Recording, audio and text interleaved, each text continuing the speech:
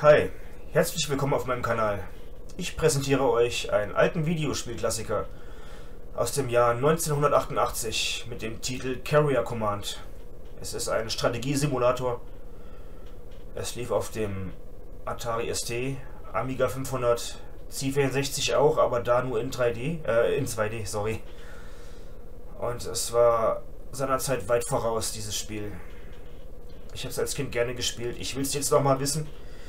Ich werde es auf dem PC auf dem Emulator abspielen und aufnehmen und kommentieren. Der Sinn des Spiels ist, also wie der Name schon sagt, man befehligt einen Flugzeugträger.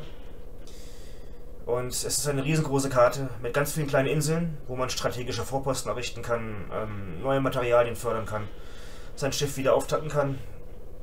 Der Gegner besitzt allerdings auch einen Flugzeugträger, der macht natürlich das, das gleiche.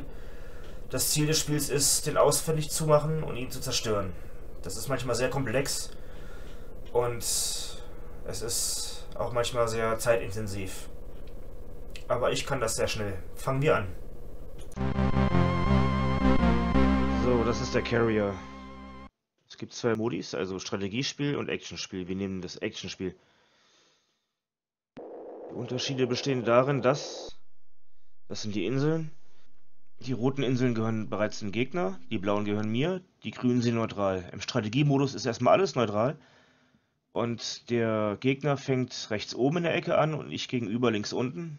Und man muss erstmal die Inseln erobern. Das sind strategische Vorposten, wo man Rohstoffe fördern kann, Verbrauchsmaterialien fördern kann oder eine stärkere Verteidigung aufbauen kann. Ich starte direkt von der feindlichen Insel und die werden wir jetzt erstmal neutralisieren. Das machen wir mit diesen sogenannten Manta-Fliegern. Oder Drohnen. Raketen und auf Automatik aus, auf Manuellsteuerung Radar. Wir werden das Hauptgebäude zerstören. Die Drohnen können wir einfach durchfliegen.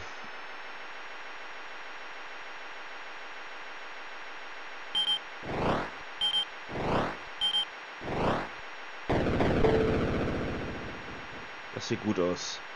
Jetzt, wo das Hauptgebäude zerstört ist, sieht man auch, wie sich die Gebäude langsam abbauen des Gegners.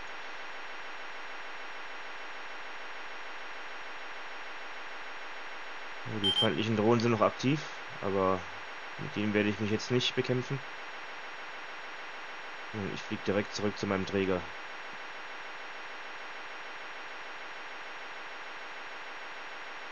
Ja, wie man sieht, mit voller Geschwindigkeit kann man die leicht durchfliegen.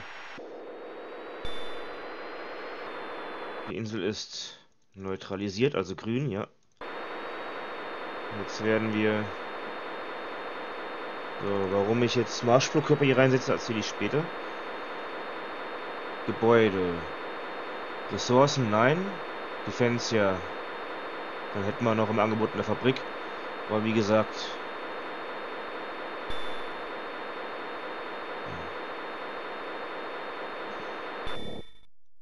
wie gesagt, ähm, wir befinden uns hier im Action-Modus. Wir haben schon relativ viele Rohstoffe. Und wir wollen jetzt damit den Gegner so schnell wie es geht zerstören. Programmiere ich mal den Kurs hier hin. Und Automatik. Gut.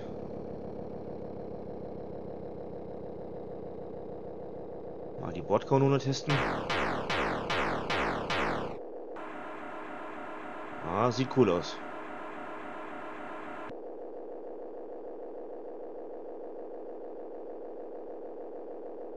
So. Mein Luftkissenboot Walrus 1 erreicht den Strand. Und jetzt werden wir dieses Pot abwerfen. Das glaube ich hier. Rückspiegel. Okay, hier baut sich das Ding langsam auf. Sobald das fertig aufgebaut ist, sollte die Insel mir gehören. Da ist mein Träger, ja. Mein Carrier.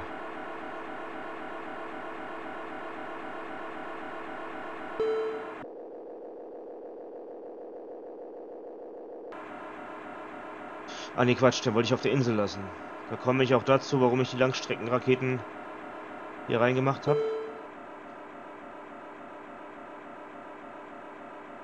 Wir fahren mal hierhin. Programmiert. Autopilot einschalten.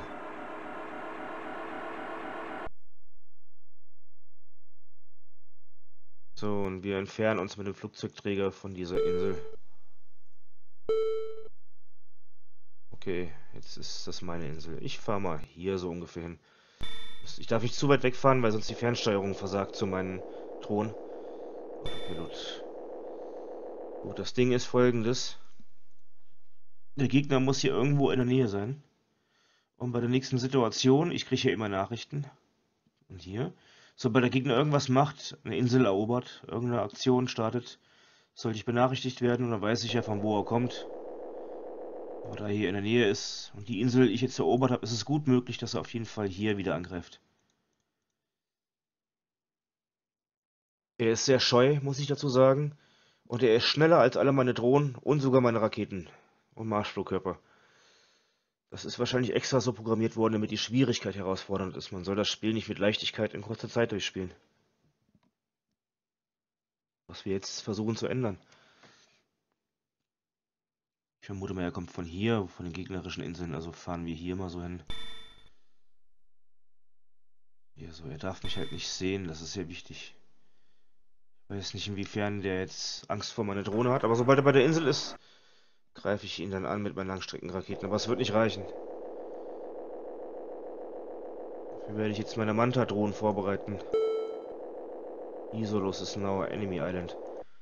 Okay, er hat gerade eine Insel erobert. Ich glaube, die war das. Jo, Isolus. Das heißt, der ist hier, der Gegner. Gut. Da kann es gut sein, dass er jetzt hierher kommt. Er kann auch hier unten auf die Insel kommen. Er geht sehr systematisch vor.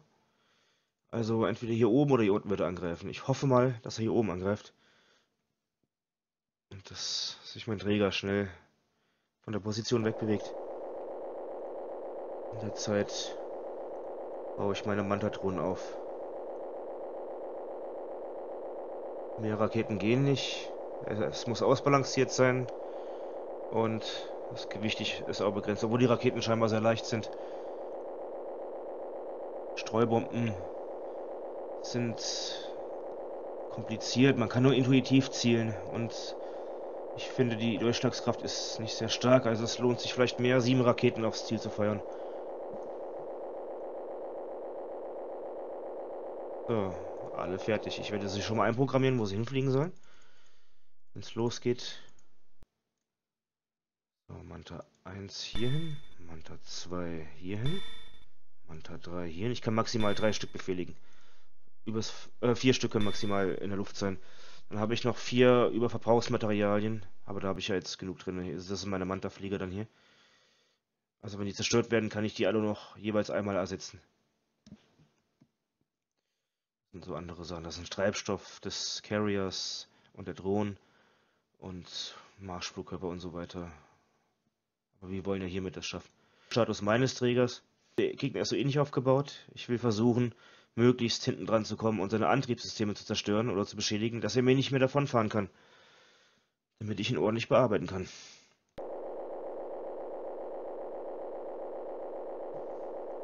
Da könnte ich vielleicht sogar mit meinem Träger in seine Nähe fahren und die Laserwaffen einsetzen. Also die Bordkanone. Was das auch immer für eine Waffe darstellen soll. Laser, yo.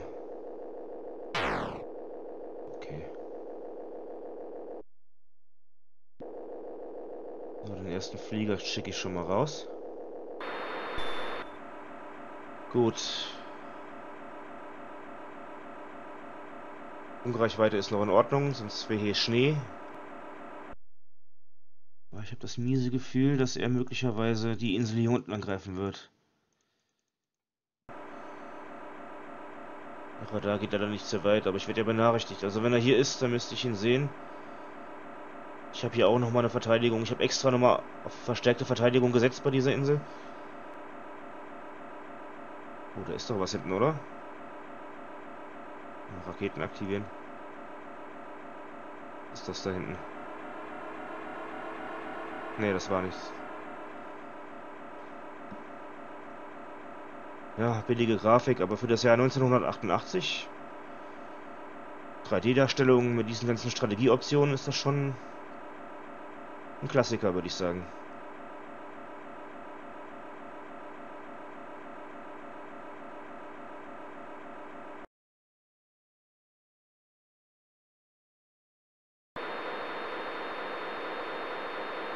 Das hier sind Flares, wahrscheinlich um Marschflugkörper abzuwehren.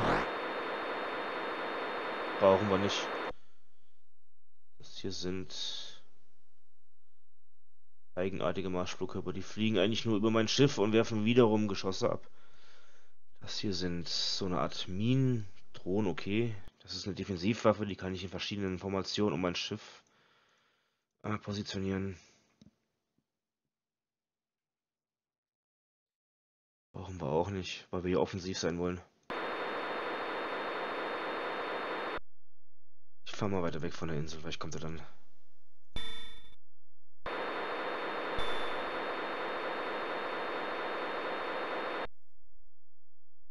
Wie gesagt, er kann viel schneller manövrieren und er fährt extrem schnell. Also, es ist sehr herausfordernd.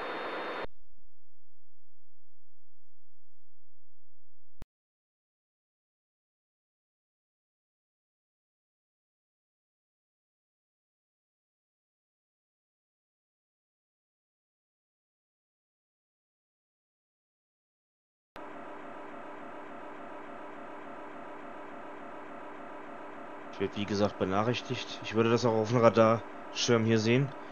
Wenn feindliche Drohnen die Insel angreifen. Dieses vulkanähnliche Gebäude, da kommen dann meine automatischen kampffähigen Flugdrohnen raus. Die kann ich natürlich nicht verwalten. Die sollten hier extra verstärkt sein.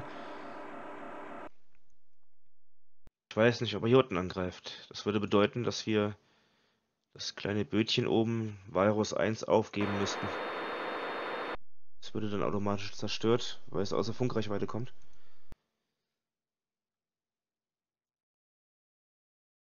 Wir müssten alles schnell umprogrammieren.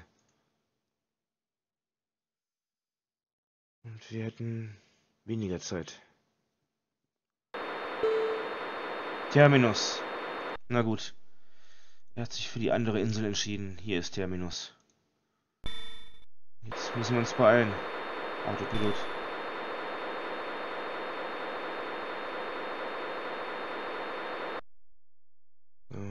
Das Walrusboot oben geben wir jetzt auf automatisch. Programmieren.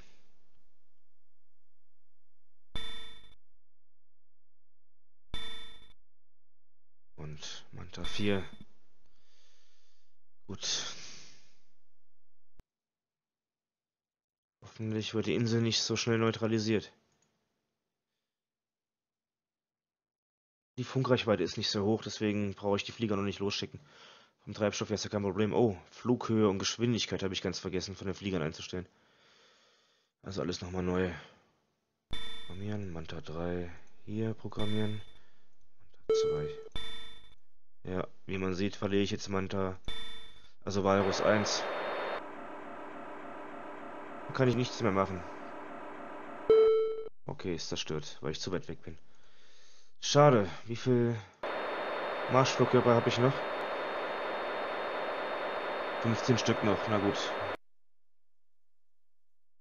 Ja komm, jetzt schicke ich die ersten Flieger los.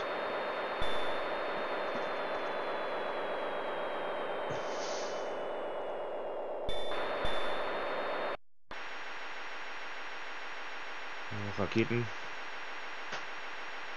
28 Raketen habe ich jetzt. Ich muss jetzt den stark genug beschädigen, bevor er abhaut.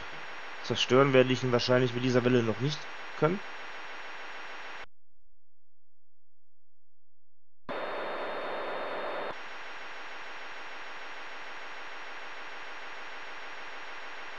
Bisschen Abstand lassen, weil ich zeitlicher angreife. Wenn die anderen Drohnen die Insel angreifen, werden die feindlichen Drohnen meine Drohnen angreifen. Meine Manta-Drohnen. Und die können sich nicht automatisch verteidigen. Ich könnte nicht alles auf einmal bedienen. Ich bin nicht multitaskingfähig. So, das müsste reichen von der Zeit her.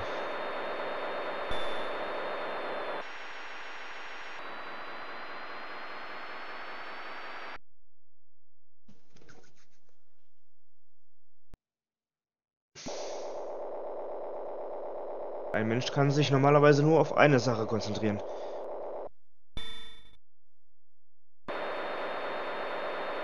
Dann schicken wir ihn auch los.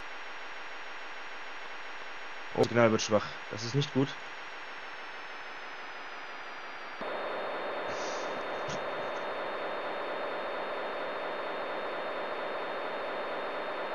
Na komm, egal, raus. Die Insel wurde neutralisiert. Das heißt, ich muss mich jetzt beeilen. Da ist der Träger. Ich sehe ihn. Ganz schlechte Verbindung. Und eine feindliche Drohne versucht mich auch abzufangen.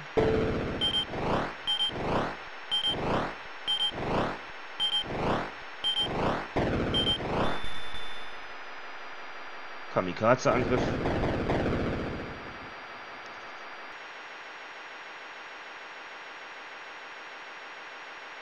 Das war jetzt eigenartig. Also, ich glaube, ein Flieger ist durch ihn durchgeflogen. Da ist er. Ui, jetzt werde ich wieder angegriffen.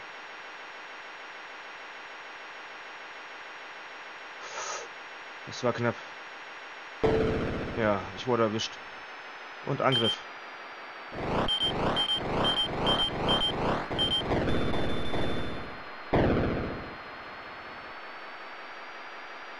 Komm schon, treff ihn. Tja, das war wohl nix. Satz mit X, das war wohl nix. Auch das noch. Habe sogar zwei Flieger verloren.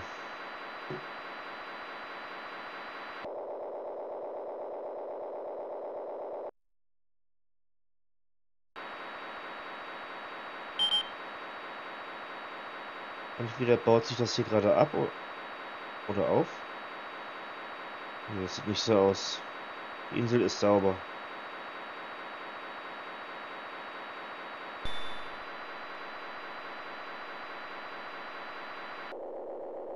Defense.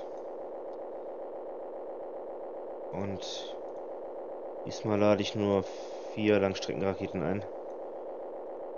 Das wäre sonst eine große Verschwendung. Oh, stimmt. Nummer zwei. Nein, ein, zwei.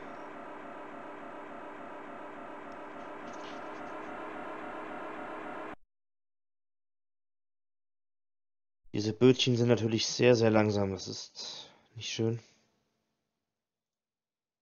Ein bisschen außen.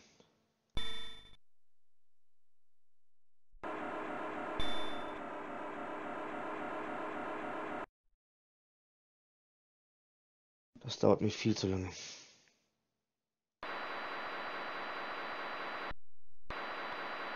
So, in der Zeit ersetze ich mal kurz Manta 1 und 2. Also habe ich zwei von den Verbrauchsmaterialien eingesetzt. Also verbraucht, ja. Treibstoff fülle ich auf, sonst fallen die gleich runter nach dem Start. Drei. Höhe ein bisschen tiefer, sonst knallen die aneinander.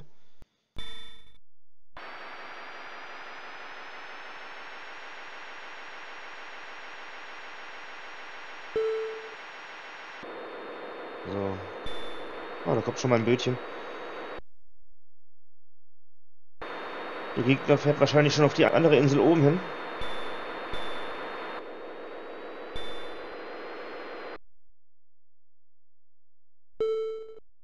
Aktiviert.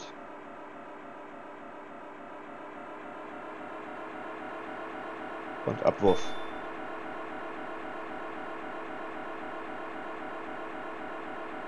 Und wir werden jetzt das Boot auch hier lassen. Oh, das ist ja die Rückseite. Nein, ich will nicht wieder ins Wasser.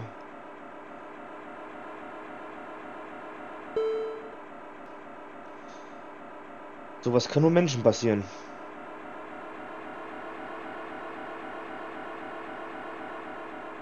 So, hier bleiben wir.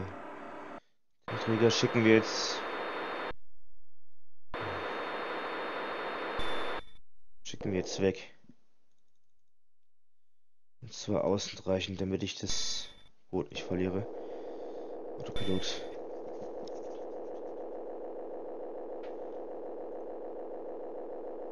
Meine Flieger.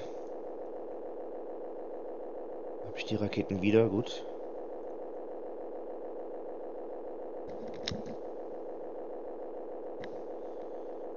Sind jetzt quasi die Ersatzdrohnen. Ähm, was war das?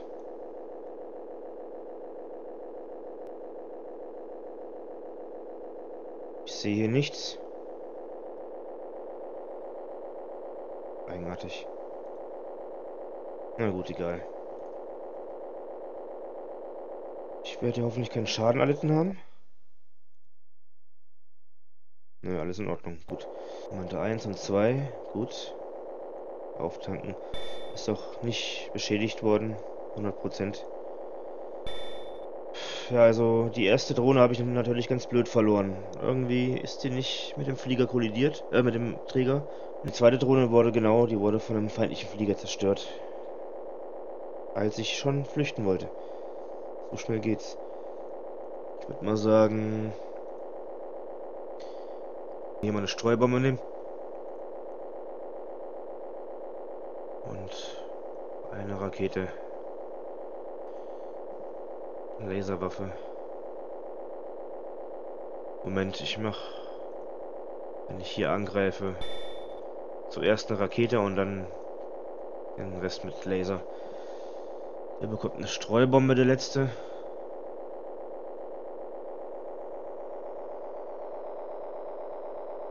Sonst habe ich großartig nichts Besonderes. Doch, viele Streubomben habe ich noch. Und noch drei beziehungsweise zwei Ersatzdrohnen für den letzten Angriff. Der Treibstoff ist bald zur Hälfte verbraucht. Das ist mal ein Viertel, okay. Also die nächste Welle muss besser werden. Ich versuche in nächste Runde weiter zu umfliegen, damit ich an seine Rückseite genau drankomme. Aber die Raketen, die sind automatisch gelenkt und es erschwert es mir präzise, die Antriebssysteme zu treffen. Also, oh, Virus. Echtes Signal. Na gut, aber geht noch. Was mache ich mit dem Träger? Thermopele, okay, dann haben wir wieder ein Bötchen verloren.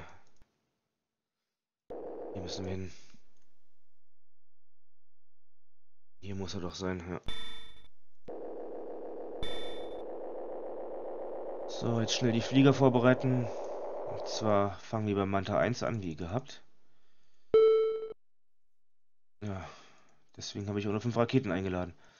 So, eins möchte hier hin. 2 möchte dahin. 3 möchte dahin.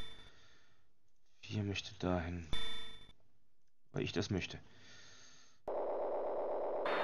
Los, raus, raus, raus.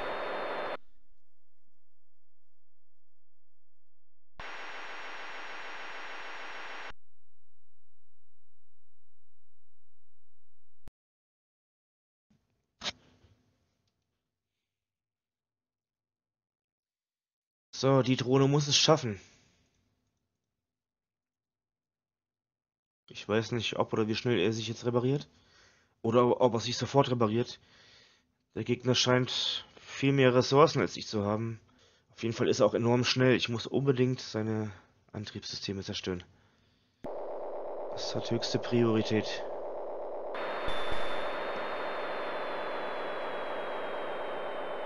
So, Manta 1 und 2 sind mit Raketen bewaffnet. Manta 3 war mit einer Laserwaffe und einer Rakete bewaffnet. Schon mal.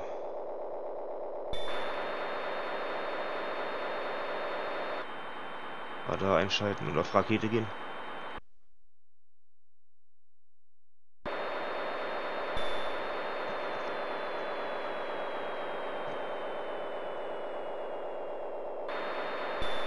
So, und die Streubombe. Ah, egal.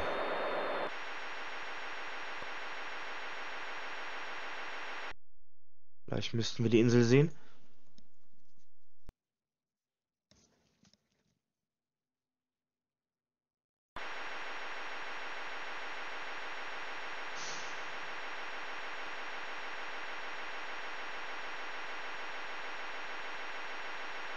So, ich will von hinten dran. Also ich vermute mal, ihr müsste... Oh, was ist das denn hier? Die Abfangjäger kommen schon. Oh mein Gott. Hier ist er, genau. Oh, da komme ich genau von der richtigen Stelle.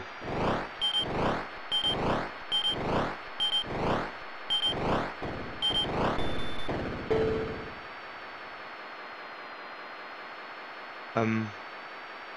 Ja, ich glaube, das war's. Gewonnen, ich hab's geschafft. Prima, hat Bock gemacht. Also dann bis zum nächsten Mal.